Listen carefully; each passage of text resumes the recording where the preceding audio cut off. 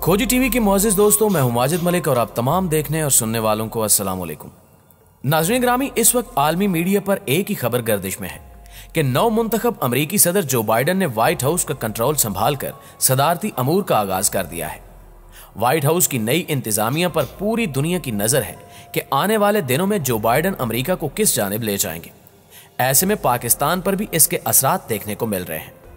आज हम अमेरिका और पाकिस्तान के ताल्लुकात को हालिया सियासत के तनाजुर में परखने की कोशिश करेंगे और ये बताएँगे कि पाकिस्तान के हवाले से नए अमरीकी सदर जो बाइडन की मुतवक़ पॉलिसी क्या हो सकती है। जबकि एक और अहम खबर के मुताबिक, पाकिस्तानी वजर आज़म इमरान खान साहब ने सबसे पहले जो बाइडन को सदर बनने की मुबारकबाद दी।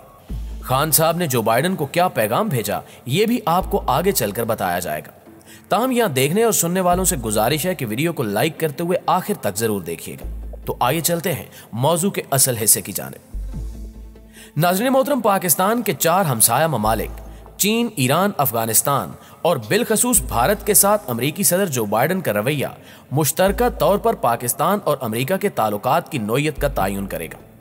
व्हाइट हाउस में एक हिंदुस्तानी नजाद के नायब सदर मुंतखब होने के बायस अमरीका भारत ताल्लुकात को मजीद तकवीत मिलने के इम्कान है। इसी तरह भारत की खारजा पॉलिसी यही होगी कि वो अमरीका का करीबी इतिहादी बनकर रहे। चूँकि भारत पाकिस्तान का सबसे कदीम हरीफ है, इसलिए अमरीका और भारत के माबैन करीबी ताल्लुकात पाकिस्तान के लिए अच्छी पेशरफ नहीं हो सकते।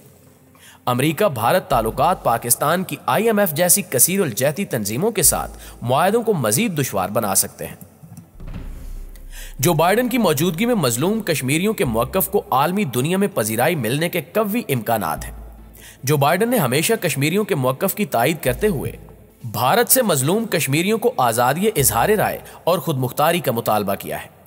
इस बात की भी तो की जा रही है कि जो बाइडन इकतदार में आते ही मोदी के खिलाफ एक्शन लेंगे।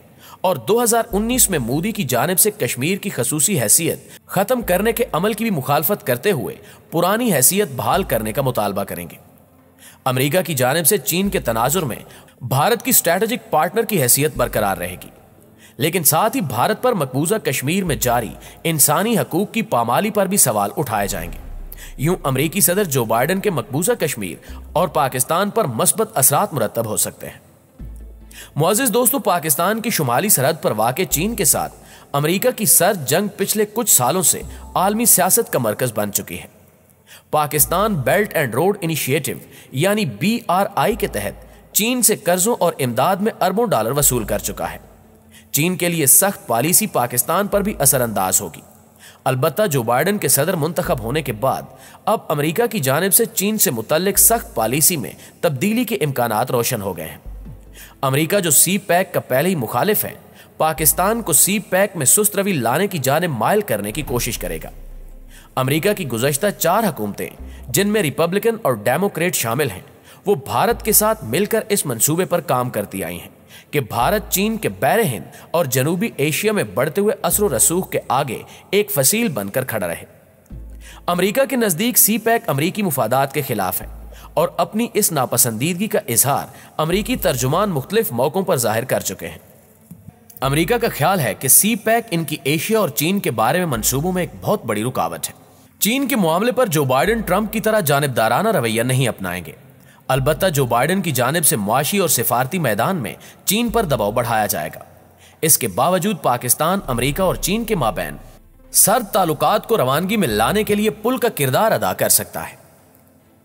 नाजनिग्रामी जो बाइडन चौथे अमरीकी सदर होंगे, जिन्होंने 19 साल तवील अफगान जंगी बहरान का सामना किया है। अगरचे अफ़गानिस्तान में मौजूद अमरीकी अफवाज की मौजूदगी में बदतदरीज कमी वाक़ हो रही है, और इस वक्त चंद हज़ार अमरीकी फौजी अफ़गानिस्तान में बाकी रह गए हैं। जिसकी एक बड़ी वजह यह है कि गुजशत साल फरवरी में अमरीका और तालिबान के अमन मुआदे ने अमरीकी फौजियों की मुकम्मल वतन वापसी की राह हमवार की। इंटर अफगान मुजाकरात में अमरीका पहले ही पाकिस्तान के कलीदी किरदार का एतराफ़ कर चुका है। नए अमरीकी सदर जो बाइडन का इस हवाले से मुख्तलिफ़ तर्ज अमल इख्तियार करने का इम्कान नहीं है। पाकिस्तान को ओबामा के दौर में अफ़गानिस्तान की सूरत हाल को मुस्तकम करने के लिए एक अहम फरीक कहा गया था। ट्रंप इंतजामिया भी इस बात का इजहार कर चुकी है, जबकि नए अमरीकी सदर जो बाइडन भी पाकिस्तान को एक अहम मुल्क करार दे चुके हैं। दूसरी जानब अफगान अमन मुआदे में भारत के बढ़ते असर रसूख को पाकिस्तान पहले ही नागवार समझता है।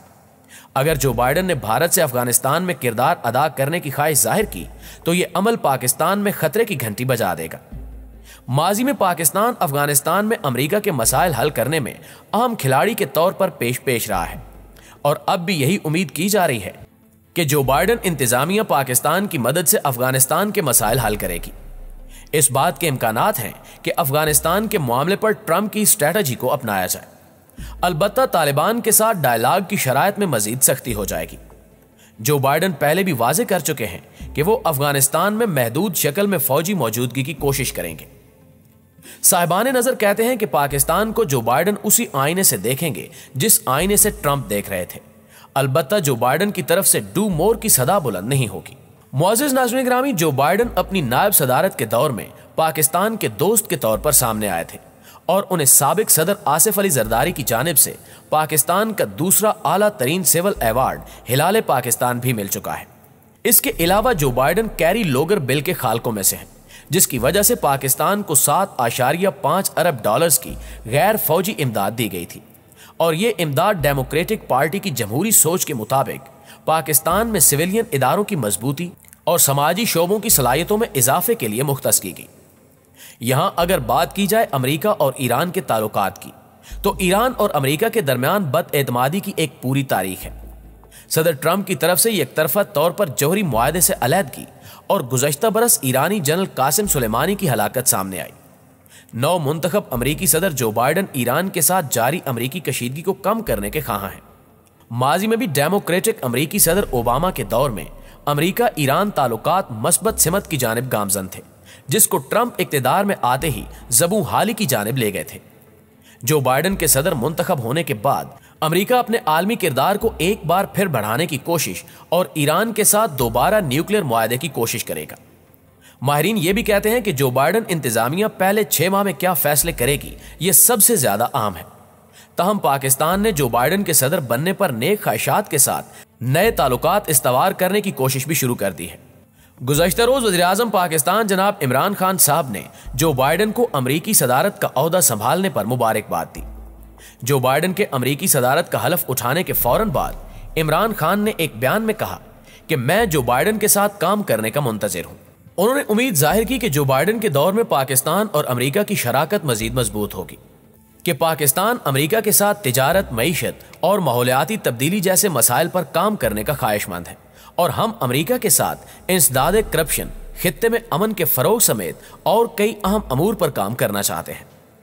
नाजनी ग्रामी मशरक वस्ता के बदलते सियासी पहलू इंतहाई अहम इशारे दे रहे हैं।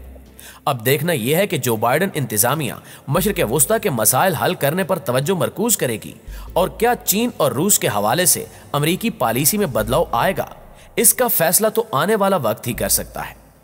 जी तो मुआजिज दोस्तों, आज की वीडियो में बस इतना ही। आपकी राय आज की वीडियो के हवाले से क्या कहती है कमेंट करके हमें भी ज़रूर बताइएगा। इनशाला आपसे मुलाकात होगी अगली वीडियो में। तब तक अपना और अपने प्यारों का ढेर सारा ख्याल रखिएगा। अल्लाह निगेबान।